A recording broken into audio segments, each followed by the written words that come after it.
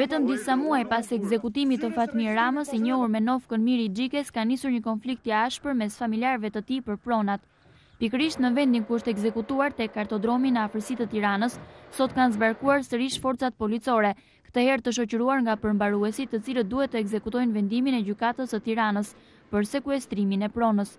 Kjo e fundit duhet t'i jepet Endi tre vjeçar, djalit të Fatmir Ramës, pretendon nëna e tij Manjola, e cila nuk ka preferuar të shfaqet vetë para kamerave, Ajo ka sjellë djalin e saj, i cili bashkë me avokaten Arta Dano, kanë hyrë brenda Kartodromit aty ku shpesh është debatuar ashpër për pronësinë e tij. Avokatja Dano pretendon se klientja e saj është kërcënuar nga vëllezërit e Fatmir Ramës. Mua tani më ka thirrur një nga vëllezërit e Mirit të Xhikes, i cili quhet Besnik Rama dhe më ka thënë e nderuar zonja avokate, neve do ta tregojmë veten se jemi vëllezërit e Mirit të Xhikes. Ne Endin, Endi ka dy xhaxhallarë dhe pesë kushërinj, më ka thënë, ose katër kushërinj, nuk... Dhe ne do ta do ta provojmë por pas dy muajsh, na ka thënë. Por ne nga shteti nuk kemi frikë. Ë dhe pasi pronat i kemi në emrin tonë. Miri ka pasur probleme të sigurisë personale dhe ato pasuri ia ka besuar të dy vëllezërve të tij.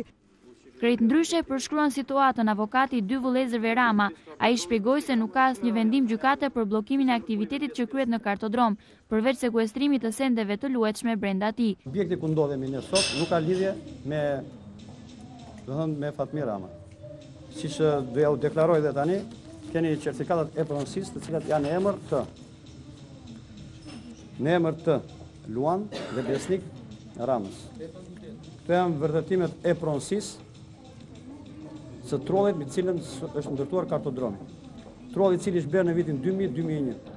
I pranishëm gjatë sekuestrimit ka qenë edhe drejtori i përmbarimit gjyqësor për Tiranën Dhetar Hysi, i cili tha se ka zbatuar thjesht vendimin e gjykatës së Tiranës, Ekzekutim i cili ka lënë të pakënaqur nënën e Endit. Asnjë nga pasuritë e Fatmir Ramës nuk figuron në emër të tij, por të vëllezërve, prindërve dhe të afërmve. Sipas përmbaruesve, nëna e Endit, e cila nuk ka pasur asnjëherë lidhje martesore me Fatmir Ramën, ka bërë padi që djali i saj të trashëgojë të gjitha pasuritë në Tiranë e Durrës, pavarësisht se në emër të tij nuk figuron asnjë pronë.